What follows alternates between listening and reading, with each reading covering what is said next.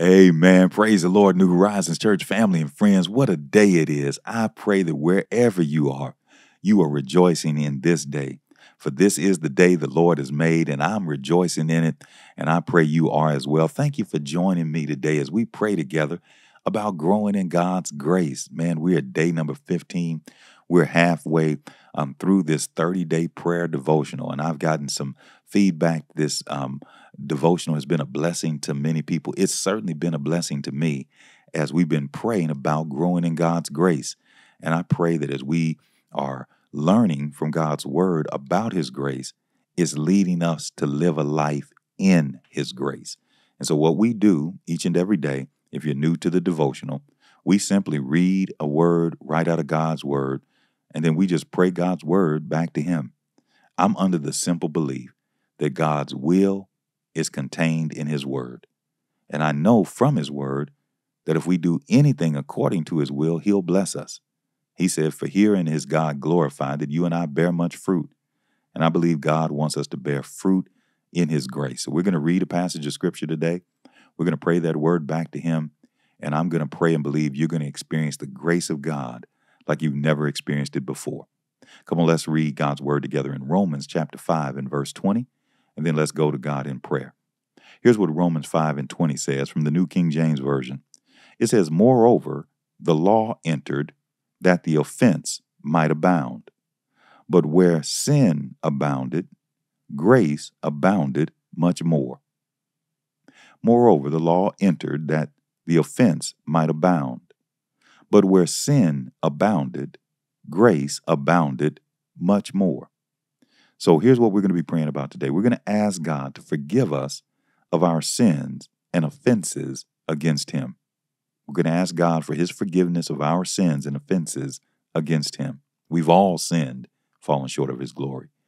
Then, secondly, we're going to thank God that where sin abounds, grace does much more abound. That's right. We're going to thank God that He does have more grace power than we have sin power. We don't have more sin power than God has grace power. And we ought to be thankful for that. Come on, let's pray. Father, in Jesus' name, we love you. We honor you today. We magnify you. We lift you up and we glorify you. Lord, we declare that you are, in fact, the King of kings and the Lord of lords, that you are the head of our lives, that you are the Lord of our lives, that you're the leader of our lives. We thank you that we have life in you and life more abundantly. We thank you that we're saved by your grace through faith, not of works, lest we would boast.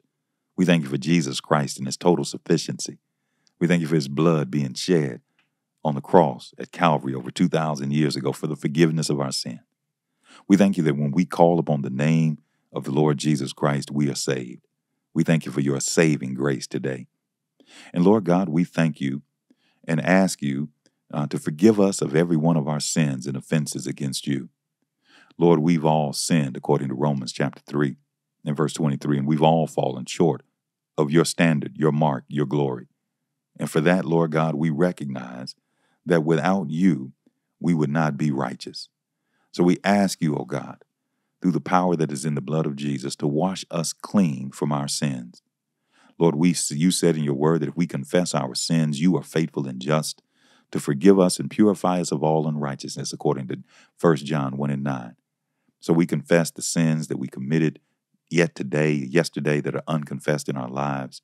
We agree with you, Lord, about the mistakes we've made and the marks we've missed. We don't try to conceal it. We don't try to argue about it. We confess it openly and freely that we might be forgiven freely. We thank you for the forgiveness of our sins and offenses against you. And we thank you, Lord, that where our sin does abound, your grace does abound much more. Lord, we thank you that we don't have more sin power than you have grace power. Lord, we've done some evil and wicked things in our lives, things that we're not proud of, things that we're ashamed of. But no matter how bad or heinous or, or wrong they may be, your word tells us that we don't have more sin power than you have grace power. Hallelujah to your name. Hallelujah to the Lamb of God. Thank you that your grace is sufficient that your grace is abundant, that it is your grace that covers our sins. And so, Lord God, we ask that you help us to be grateful to you for that. And not only be grateful, God, but share your grace with other people.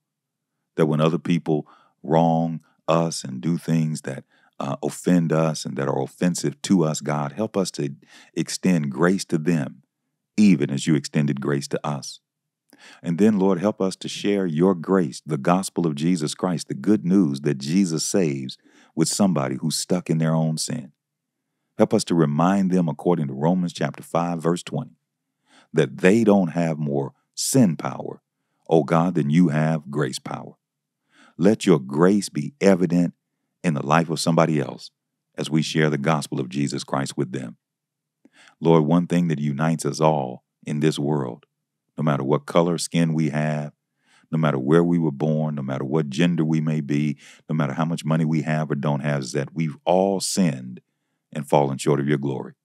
But the good news is we don't have more sin power, oh God, than you have grace power. So help us be united in growing in your grace today. Help us be united in growing in the unmerited favor that you extend toward each and every one of us today.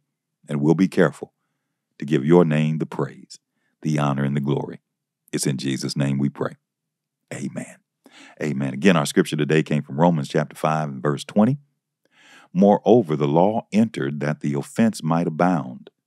But where sin abounded, grace abounded much more. Amen. I want you to grow in the grace of God and go in the grace of God today. We'll be back tomorrow to pray with you, and we're going to be praying for you. We love you in the Lord. Be victorious.